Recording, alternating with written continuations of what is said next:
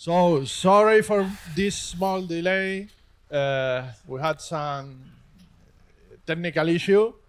So good morning, welcome uh, again.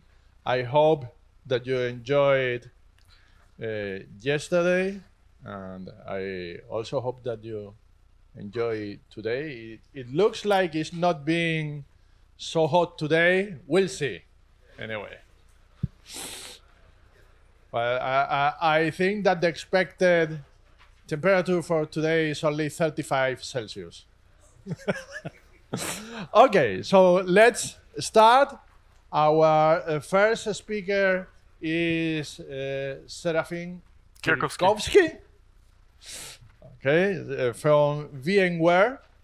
And uh, he's going to talk about what I think is a very relevant uh, hot topic for many of us, which is uh, build systems, because we love C++, but sometimes building applications is not so easy.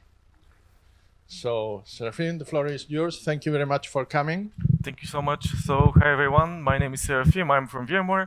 I'm a staff engineer, uh, and uh, I'm been working uh, these uh, past uh, few years on C++ toolchain and built evolution inside a product called vCenter.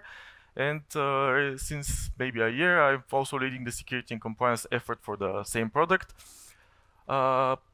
And both of these combined very nicely with uh, software supply chain security, which we're going to touch very briefly in this presentation. And I'm very passionate about build systems, and I've been so ever since I wrote my first Makefile. This, when you write your first Makefile, your small, stupid hello world program suddenly has a life of its own. It has unity. It has, it's complete, right? And that's something that I want to talk about because when I went in the working world, right? I didn't see a lot of people who shared my passion for build, build systems. Like build systems were more like an obstacle. Build systems were not code. We are here to, you know, write C++. We're not here to write make, C, make, or whatever. Just, just do it, right? Uh, we don't care. Uh, and I actually feel that's because people don't understand the history and the development of build systems to, to the time and to know why we're doing the things we're doing today uh, and that's what we are trying to do. Like dialectics, the nature evolution of how build systems came to be from the beginning of programming to what is more or less today. And we're going to do this by using an example of a profitable software company, I mean legacy company.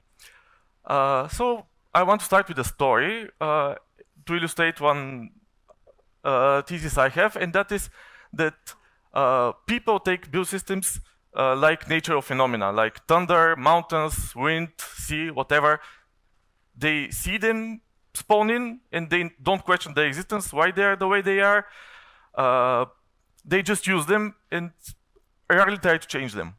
So I was at this meetup five or six years ago, and I was talking to a guy from a mid-level, mid-size uh, C++ company, and I asked him what build system they, they, they, they used. He said uh, since we moved to CMake, everything is great. And he started talking all about how CMake is great and so on and so forth, but I didn't listen to that. I heard, since we moved to CMake, what did you use before going to CMake? It's... And he said, PHP. They had a homegrown PHP-based build system. And uh, these guys were trying to do some cross-platform, multi-architecture stuff, and doing this in PHP was hell. Now that they had CMake, uh, life was great. Um, so I asked, how did you decide to do this uh, bigger right? Uh, I mean, uh, upper management doesn't easily let you write an entire build system that you have uh, maintained over the years. And he said, I don't know. We didn't really decide. We went uh, on a Christmas break one year, and when we came back at New Year's, it was there.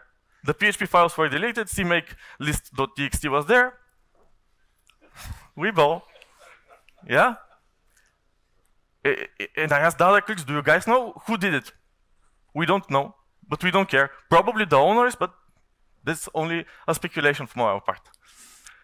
So, uh, and that's a, that's a great example here, because those people spend a lot of time explaining me how CMake was great for them and how it was making their life easier, multi-platform code, sanitizers, and so on. And this uh, makes me think of a, a, quote from one of my favorite games, Build Born. We are born by the build, made men by the build, and undone by the build. If we let our build systems rot sufficiently, we uh, jeopardize our capacity to build software uh, to meet the requirements of today, tomorrow, or even yesterday. So here's an example. You're starting a job at a new company. You're given this uh, code base with a thousand C files, but there's no build system, and you're tasked to figure out how to build this small binary that, you're work that you'll be working on for the next couple of years. The guy that's onboarding you says, well, uh, I started like this, I have my own shell scripts. I don't really know if they're correct, but that's why I cannot give them to you. The guy that onboarded me said the same, so we're continuing the, the sins of the fathers, I guess. Um, and imagine you succeed at building this project, uh, the correct compile options, the link options, and you start coding. I mean, it's a way of living, right? You're coding, you're building, you're, you're shipping. And then it's 2025, and suddenly you want to ship this product to the Department of Defense of the United States. I mean, those guys will really enjoy to understand how you how you built this, right? uh, and it's strange because here we all have the intuition that building code by hand with uh, custom built shell scripts is wrong. But the thing is that in most of part of programming, programs were built by hand. They were uh, punch cards sorted and assembled by hand for loom machine, for uh, looms, for uh, maybe the analytical machine if it ever existed, for musical machines, uh, for the first, for all computers up until the 1960s, uh, when uh, magnetic tapes and disks uh, become viable. And here you have a loom, and I guess in 4K, in music box, and they were basically the same uh, principle of programming. You saw the the stack uh, of punch cards and the uh, loom gives the correct patterns and you replace the cylinder with the respective dots and the uh, metallic picks are picking the right tones to produce the melody. Uh, von Neumann, there's a there's an anecdote about John von Neumann who uh, uh, was not very keen of his students writing symbolic assemblers. Um, for doing what he calls clerical work, meaning translating assembly to uh, machine code. Um, now, our company begins. We call it, call it Jingo Labs. I, I actually uh, I thought about it like five minutes before the talk. I don't know if there's a company called Jingo Labs that's completely coincidental. We were founded in 1971. What we're doing is we're making money. That's all we do. Uh, we don't write COBOL or Fortran. We only code in assembly. Our only tool is assembler. And our competitor is Bell Labs. And they are main competitors until the very next year. Do you guys know what happens in 1972? C? Yes, the second edition of Unix and C. When our programmers see the C language, they're in love and they, and they want to write it. Soon we bend the knee and we introduce C in our code base, not only assembly. I mean, who wouldn't compile that, right? That's actually a quote from uh, the second edition of Unix, actually. Um, and uh, C came with another way of being built. Like C was being built in object files, object files were being linked in, in programs, and you could do all kinds of permutations using uh, the Unix shell, using wildcards, and so on and so forth. And uh, our way of building uh, and our code base was looking like this. In the beginning, we had one main.c, and uh, by 1973, we had like a, a, whooping 15 files. And how we built them, we actually got, got into the directory, and we were issuing cc star c, and we were paying for the best. Uh, now this got this got an issue, right? Uh, you can mistype cc star c, and you can type cc star o by by uh, by by chance, that means that you won't be compiling your code. And this made us waste hours a week. But that's a price to pay. I mean, what can we do about it? There's nothing to do about it. And we went to live, we went to live with it. After all, life wasn't that, that, that bad. But life can be better. There's a certain Steve Johnson in 1976 who wasted a whole morning debugging an incremental build issue. Actually, he was the incremental build issue because he was issuing CC star O on uh, some object files that, uh, where he had allegedly already fixed the bug, but he was still seeing it in the in the binary. So he stormed into his colleague's uh, Stuart Feldman's office, and they both uh, brainstormed uh, the make build system. And the first build system was created like this because someone wasted a morning debugging uh, incremental build issue. And make was very good. Make was being done by absolutely everyone for very, very long time. If you try to look in the history of uh, software and so on, you, you will very hardly find some build system between 1976 and 1950 uh, and 1995. Right? There are others, but Make is, Make, Make is the main one. And during, that, and during this time, the storage uh, got bigger with hard disks smaller, more CPUs, more RAM, more operating systems, more operating platforms, and uh, more ways to make money. So we needed to leverage those, those more ways to make money, and we ne needed to target those, those platforms. So we started adding ifdefs to our code, ifdefs in our make files, and uh, yeah, it was doable, but still complicated. Still, as I said, we're in the business of making money, not build, not build, build systems. And someone somewhere on the on the planet was fed up with uh, writing himself all the checks for for the platform, and he decided to create a meta build system that would create a build system that is already configured for the for the target platform. AutoTools, to the best of my knowledge, is the first build system, uh, the first meta build system to exist, and uh, this is the graph of dependency if you really want to do a complete uh, AutoTools build by, by, by, hand. I mean, that's really complicated, and we at, Jing at Jingle Ops were not really convinced that we wanted to implement this in our code. And we, we had the choice. So let's see what we're going to choose. In 1995 as well, uh, the first release of zlib appeared. And our executives understood that uh, somehow we can leverage open source to not do something at, uh, at in in-house, and they decided that we need to drop our compression li library and use this one. But zlib uses AutoTools. We're using Make. So we have an issue. What are we going to do? In 1995, Java also happens. And our developers also love it. We still uh, don't have a Java build system until we released six years later. Uh, and the only way to build it is, is with Make. And with uh, and at this point, we decided we'll stick with Make. Make will just go out to the other build systems when they're available, and we'll build Java with Make natively until now. Uh, and when the, something interesting to, to, to, to notice at this, uh, at this point is the, is the uh, appearance of uh, SCons. Uh, I think it's a really peculiar build system. I really hate maintaining this stuff um, because it's a Turing complete. You have a Python interpreter where you can mine Bitcoin if you wish, uh, while you're while you're doing a build. It's a it's a terrible mess. We briefly envisioned to adopt this at Jingle Labs, but uh, we thought that for maintaining our thousand uh, our thousands of files, it's not it's not doable. Uh, so.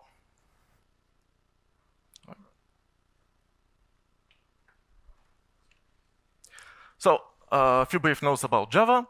So in the 20th century, Java was becoming more and more popular, with uh, with more and more libraries being uh, be, be, becoming available readily, and new a new kind of build system uh, appeared. It was Maven who had an integrated uh, package manager, right? Our Java developers loved it, uh, and soon we started deploying uh, Maven in-house with the OTAN projects staying, staying like, like they are. Uh, so we were keeping, we were piling up legacy code with Make, calling out to AutoTools, calling out to Ant, calling out to, to Maven, and bit by bit we were moving towards the newest uh, of, uh, of languages. So, and while all this Java nonsense was happening, the C, the C++ world was also changing. So with the um, um, with bigger hard disks came bigger code bases and more powerful CPUs. That mean that meant uh, uh, less performant programs, and we needed our build to be fast. And someone somewhere decided that they are going to distribute the build across multiple machines, and they are.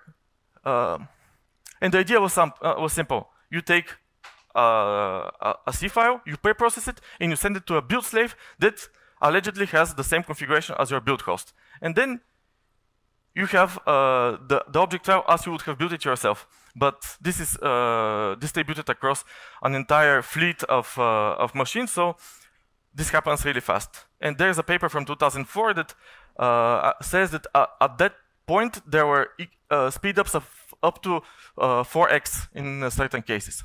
After distributed compilation proved to be a viable solution, compile caching happened, which was basically the same, but we would cache the, the artifacts once they were built, uh, and they use them um, on, a, on a subsequent co compilation. So there are these uh, numbers like 100 texts given in the in Ccache's uh, official webpage, but that's like really normal because they're literally doing nothing after they have cached the uh, they, after they have cached the, uh, the artifact. So they were really good. They provided real good speedups, but they had issues, and those issues were, in the end, rooted in uh, uh, in the in the in the build system. Because if the build system couldn't provide sufficient uh, isolation of the of the inputs, the the build slaves would never be able to produce deterministic uh, results. so distcc and Ccache would be uh, would, prove to would prove to fail if uh, the machines that, that, were used to uh, either build the artifacts or uh, store the artifacts had uh, different compilers, different runtime libraries, different different sysroots, uh, and um, this begs the question: How are we sure that the builds that we are giving to the customers are deterministic? And once they have an issue, we can reproduce them in-house again so we can debug them. All right? Uh, distcc showed us that our build is not as deterministic as we think.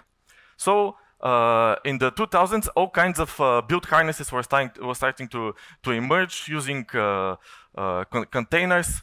Of course, me being from VMware, I'm sticking the VMware ESXi on the slide.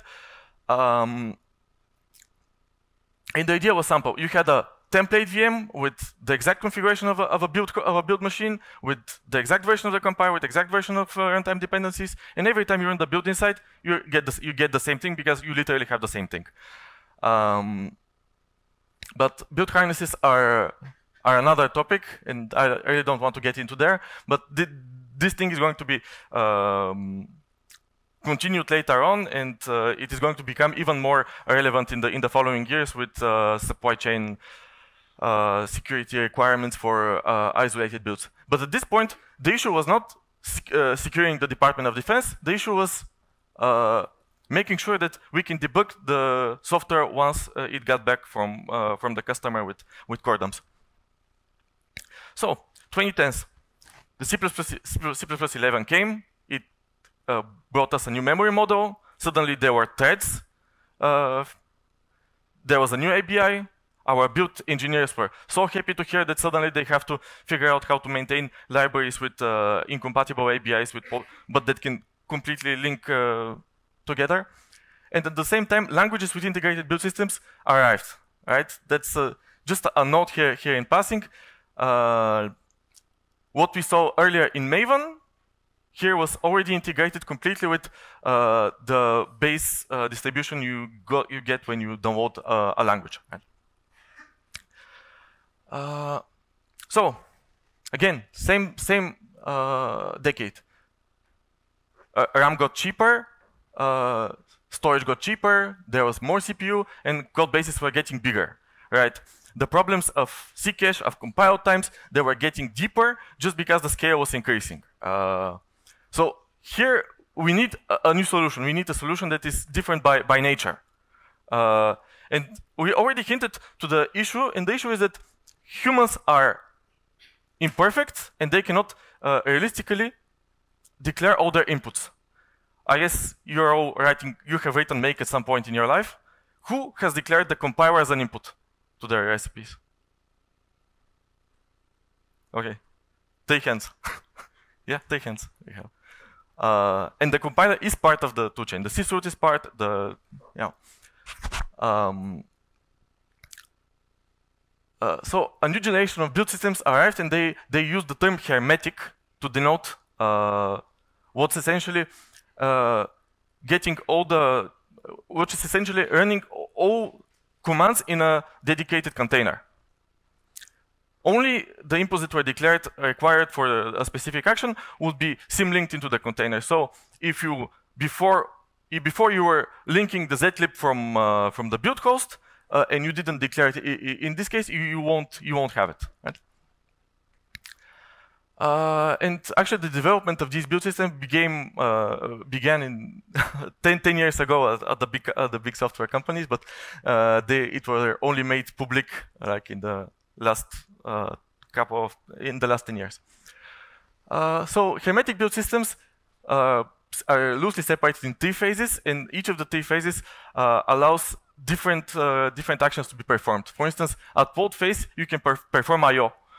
Uh, you can go fetch uh, an archive from somewhere, un unarchive it, and expose its contents uh, natively to the rest of the build system so they can refer only to this header, to this library, or, or something else. At the analysis phase, I.O. is not possible. The uh, runtime itself prohibits it. Uh, at this stage, uh, the build graph is created, right? And at the build phase, only the build commands are executed. This hermeticity actually allowed distributed compilation and caches to be uh, implemented uh, correctly, correctly for the first time, right? And this time it was not limited to only C, because this CNC cache is limited uniquely to C uh, for the essence of it working, like uh, pre-processing the file, uh, uh, pre-processing the file, and so on and so forth. So, dialectic of build systems. Now it's 2023. SolarWinds happened. Colonial Oil happened. The US uh, uh, government issued several executive orders treating uh, software supply chains. Uh, I think this month, uh, a new um, um, uh, a standard from, I think, from Google came out that is defining compliance levels for software supply chain. We are having we were talking about hermetics builds with uh, dedicated sandboxes for each um, uh, action and uh, isolated build harnesses. I mean, that's pretty good. I mean, we started with running an assembler by hand, and now, and now we're in the future, basically.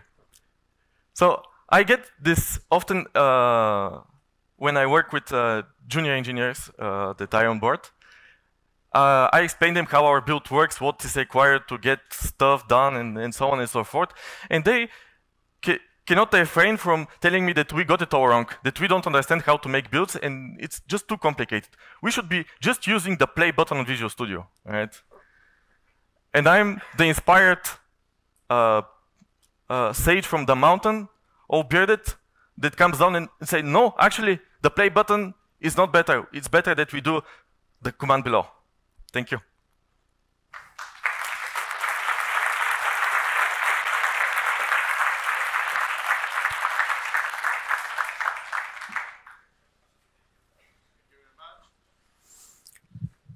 Questions? No questions?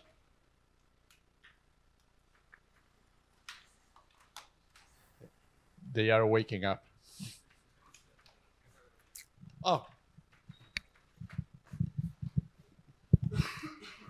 So I want to understand a little bit like your conclusion of your talk. So imagine I'm writing a software library and I want to like from Green, uh, Greenfield software library, I want to test it in a CI or like build and test it. So what would you use? What would you, would you like as a sage of the mountain? How would what you would would you recommend me?